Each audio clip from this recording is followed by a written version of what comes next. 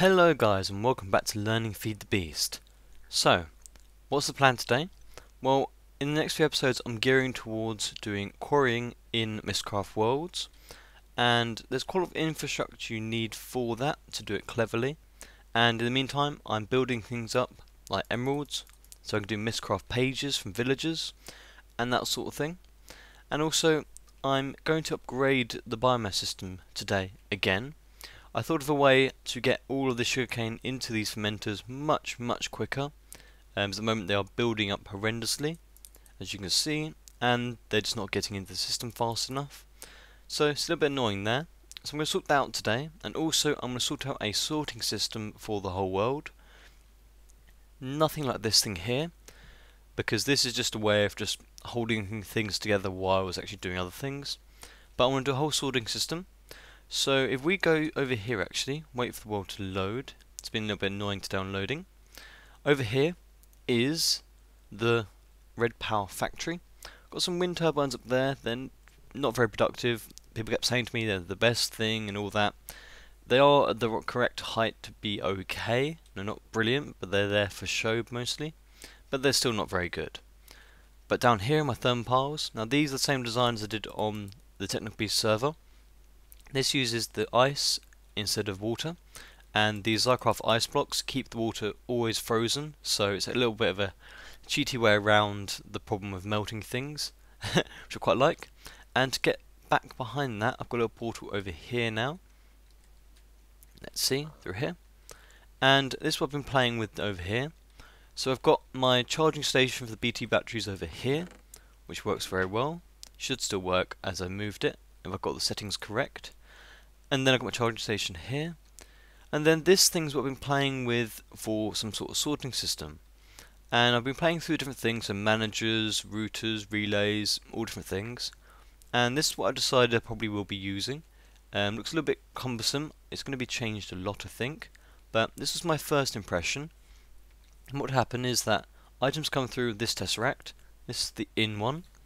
They get sucked out through three relays and then they get pushed through the super fast mag tubes across the whole sorting system. So one side will be probably one different thing for every single part of my storage system. Um, so I've got these barrels sitting around. One of those would probably go to one of ooh, one of them will go to one of these side storages. So one of them will go to one of these, one of them will go to one of these, and so on. But I think I'm going to change it up a bit and we do a little bit of testing today and see which way is best for me. And then the other side I wanted to have all the machines that I'm using. So I need to have my automatic blast furnace, macerators, compressors, extractors and all that on the other side. And as they're on priority, they're not actually on first come first served. You can make them go to anyone you want. And at the end I'd have some sort of outflow. And actually there is stuff coming through that already. Oh yeah, so I've got my charcoal going through it. Okay, and I think I'm to change this a lot. This is my first little attempt at looking at the problem, and what I'll do is each one would have each um, panel of barrels in here as a inventory. Now the difference was that managers keep a group of items or an item in an inventory that it's attached to, and it will pull things from somewhere else if it needs to. Um, but the problem with them is that you need a whole stack of the items. So if I put a stack of dirt through here, and you had a manager with only one dirt in it, the 63 would go this way, and one would go into the manager, which is a pretty bad thing to do. And also the managers, no, like I said, you'd have a whole stack of them. So if you want to do iridium, you'd have a whole stack of iridium in it. Otherwise, if there's more than one, or more than how many you had in there, they would just come out the out, and you don't really want that. So these ones, you can put one item in and they'll all go out. So I've got Cobble in there as my destroyer. Just put Cobble in here, you see that it flicks, goes into there, and nothing comes out here. So one Cobble does all of it. So that's my first impression of kind of modelling what I've done so far in this. It looks quite cool, and I haven't really seen anyone use these mag tubes before. Um, I just really like them, they're really really fast. And now I'm going to start playing with a way of making this even more efficient. What I want to do is have multiple ins of this. instead of doing more than one relay on one, I could just have like three or four of them in a row with four relays in a row and just really, really simple tubing. That's what I came across when I was playing with it. I think I changed that. The outflow probably be the same, but for the rest of it, I came up with a really cool idea, and that's that each of these can assign a colour to a different group. So you could have like all stake gets color coded red, and each inventory that I want to send things to, I don't actually have to have it with little colours, isn't there? I don't actually have to have it all coming through. No, I, this sorting machine doesn't need to do all on one side. What I could do is have many many of these sorting machines going to one place. So the idea I had was that these would be inventories. No, you can put I think it's 40 in each one. So there's a lot of different items I can put through.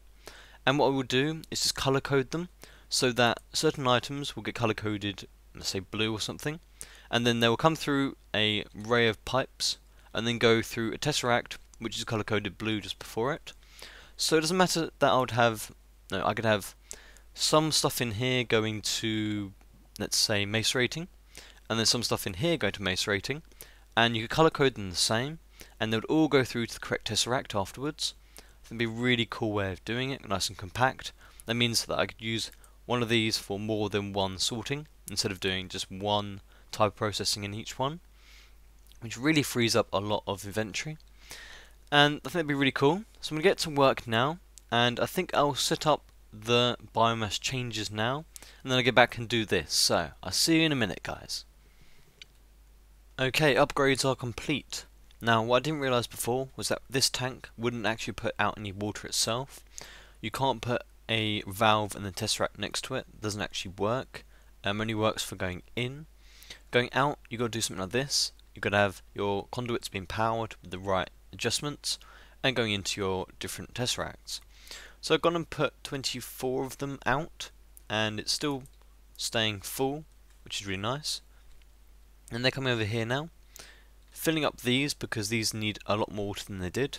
Now what I've changed is that I've now using this all routers, nothing else, no relays, no pipes or anything. Much more efficient. And this is taking out stuff at a horrendously good rate. And all the farms are on. So what this is doing is drawing out stacks and it's ejecting them, well it's extracting them from the barrel, from the bottom, then it's ejecting them into this router, which then dumping them into there, which is really really nice. And it's very very very very very fast. I was thinking of doing a shut-off system for the farms, but actually this is processing them faster than they're coming into the system, because these were a thousand stacks each and it's really keeping up with it, which is really pleasing. And eventually they will empty them, and that will be the bottleneck. So the bottleneck will become the farms. It would, though, if this wasn't going up as fast as it would. This is going up maybe a million buckets every couple of minutes. Um, it's really, really going up. We'll see how that changes when these actually get emptied, and then we'll see what we actually level out as. I may need more stills or another way of transforming it into biofuel. And this has got plenty of excess. so yeah, I've done that for all of them and it just works really really well now. Really pleased with that. See this one actually broke and so this is actually just as it would be for an empty barrel and it's not even being filled up. So that's hilariously fast. Yep, and these are full of water, that's good. So this water is actually working very, very nice. And I thought about this actually, and as I'm putting in so much water into the system, I could, in theory, um, I think, turn all these engines on and not alternate them, because they should be getting enough water to not explode. I may test that overnight sometime um, on a different save, just in case it all blows up. Um, I don't know, but I do give enough energy out at the moment anyway. It's about 4,000 MJ or something. I could double it up, but then I'm not actually using that much MJ at the moment, so meh. What I could do is expand all these mag crucibles, because at the moment I'm not using up all my energy that I'm producing anyway. So I can have a lot more of these, making a lot more lava, and then going to a lot more of these, and make a lot more EU, which is what I really want. And talking about that, at the moment I'm using up not very much lava. That's a lot of excess lava, So at the moment the best bottleneck is actually how many generators I have. And I did make a couple more hundred of them. Yep, just casually made a couple hundred of them, which can be installed, but not today. Today we're working on the sorting system. So, I'm going to go back now and test out some stuff with the sorting system, and I'll be back with you to show you the results. Okay.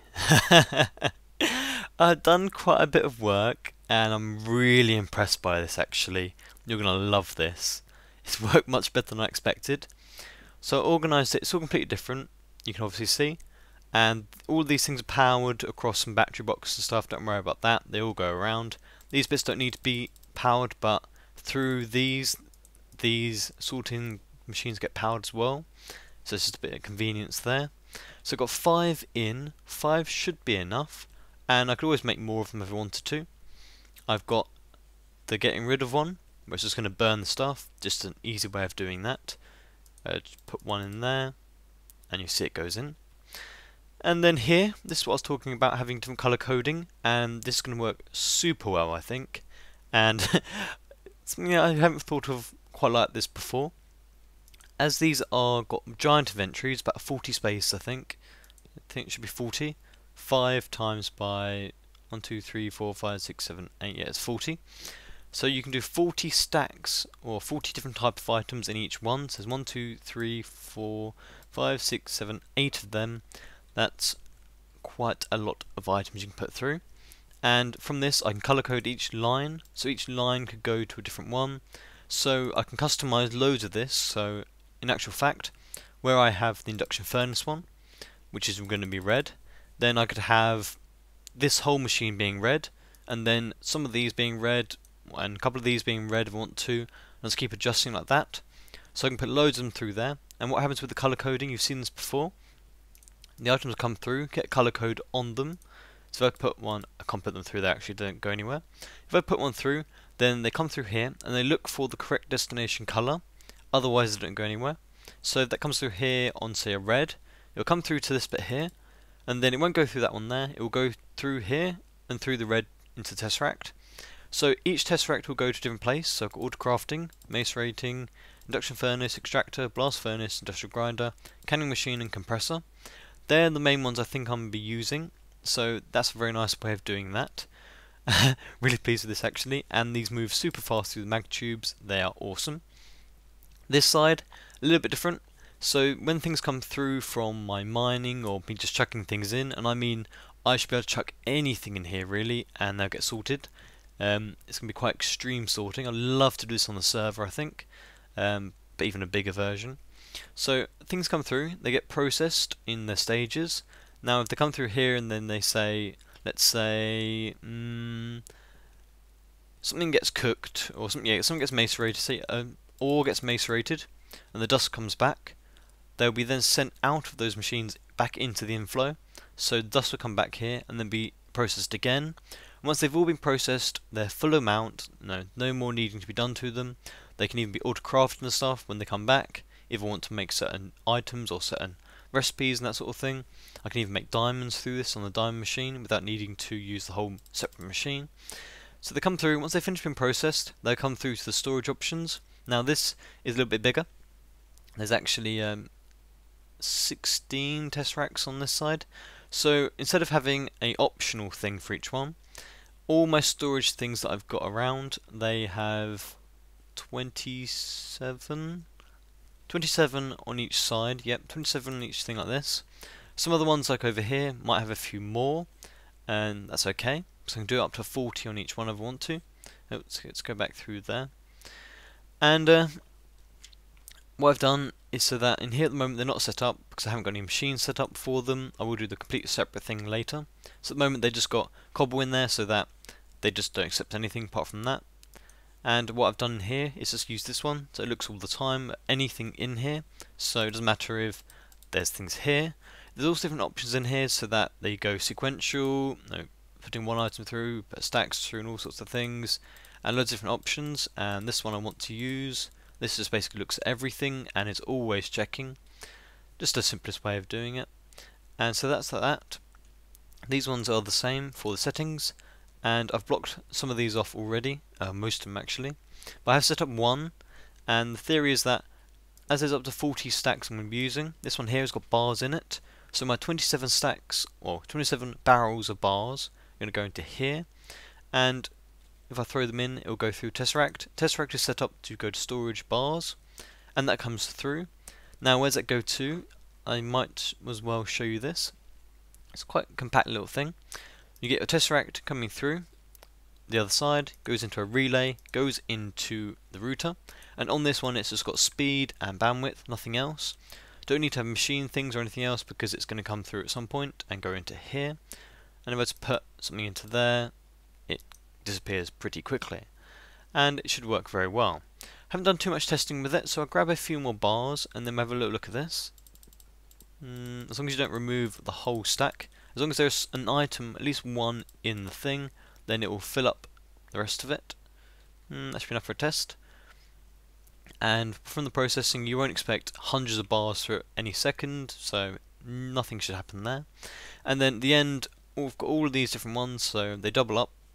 Um, all different things that I've been using, all different areas all around my place. So everything useful should be stored. Um, and anything extra, I've got some deep storage, so things like extra nikolite and stuff, or actually the extra nikolite will be put into the auto crafting and put back as um, actual blocks. But things like the deep storage that I had um, on the train bit, go to sleep, and the deep storage over here is just things like ice, scrap boxes, clay, Mozarite. No, there's just things I'm not going to be using, but they will come through on processing. Um, I can just hide them away somewhere. I might put them in a separate room under here, like I said before, or they might just be sitting in here as storage. And I've got things like the train and stuff as well, and the carts. So, let's see. And then anything that doesn't get sorted, so if I throw through my vag or armor and stuff, they would come out to this end one here. So at the moment, coke coal isn't processed, as the only thing that is processed is these, so it comes through at the end.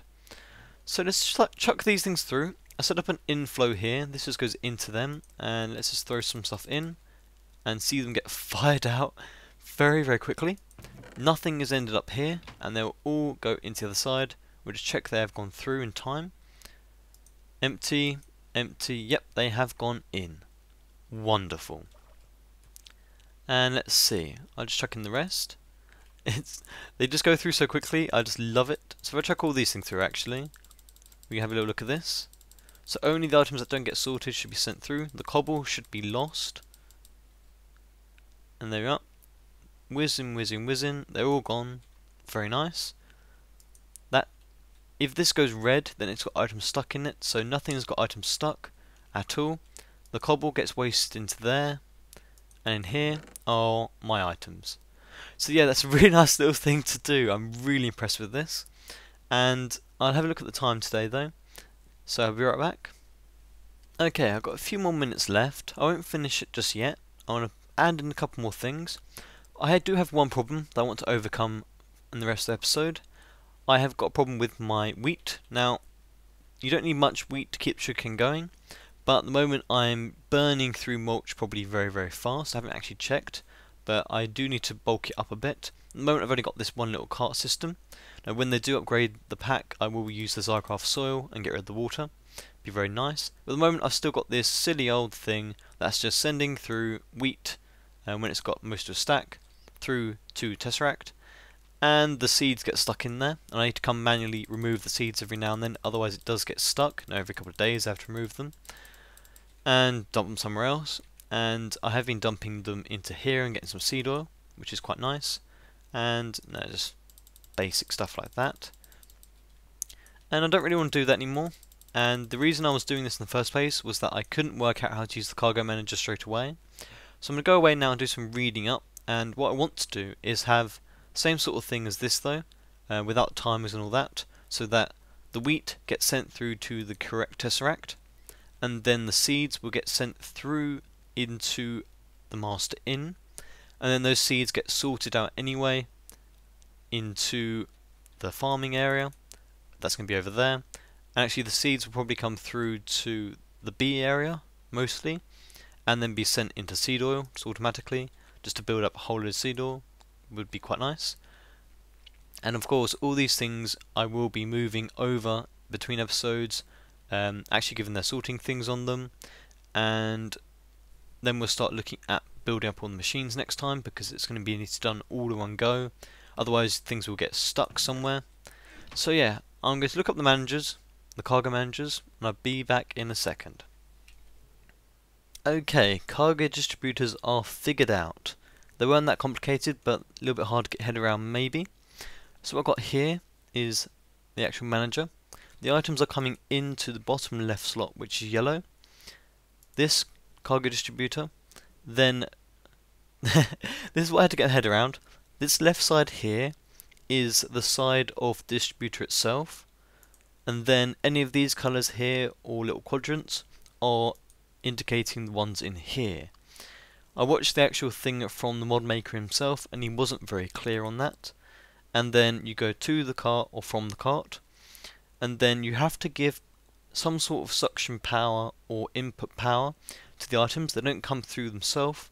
So here I've got a, if there's items in inventory, give a pulse and that's to bring items through. So if I just grab some seeds from this barrel here, just for instance, then they come through to here and they come down now that's the out, and of course the purple side is the side that's coming out of. If I had this pipe coming out of the blue one, nothing would come through at all. And here I've got a diamond pipe sorting out the wheat from the seeds. Now I could do this differently, I could have this sent to my storage area, or my processing stuff, and then sorted through a sorter into the stuff going to each of the fermenter stuff and all that. But this is just easier, really um, a little bit neater as well. So I've got Tesseract for my master in, and the seeds at the moment are just going into the bin pile, and we've got more seeds than I need at the moment, and then the wheat is going through the fertilizer. So it's a nice little way of sorting that, and let's make it day again. Okay, and on the other side I've got the same sort of thing, it's just a different way around, so that on here they're coming into this red slot at top. So it's saying from the red slot you're moving, sending it through the purple, and comes through to there, like so. So yes, very pleased with that. I can remove all these silly things of seeds, and I don't need to worry about that anymore. And I do have plenty of seeds, really do. So I'm not worried about that at the moment. Now I can do fancy things like sending in um, bone meal and stuff, but to be honest, when the pack upgrades, I can use the Xycraft blocks, and I'm not really that worse off um, from not needing the fertilizer. Um, but yeah, it might be something I do in the future. I might set up another manager somewhere else and just have it going in. It's a little bit simpler that way. So yes, I'd like to say though, I am doing this thinking about the Mindcrack pack as well as the Ultimate pack. So I'm trying to do bits in both. And the AE, the um, Energistics, I was told I could use it for that over there, but I don't see really how you can make that any simpler for sorting. I know you may be able to use it for more storage stuff, so I may look at that for my deep storage part. But I only want to keep this something that I can use between the server and this as well. So yes, that is it for today. All I have time for. And I think I've fit in quite a lot of things there. Hope you learned something like normal. If you have enjoyed, please give it a like. It really helps. So, thank you very much guys for joining me, and I'll see you next time.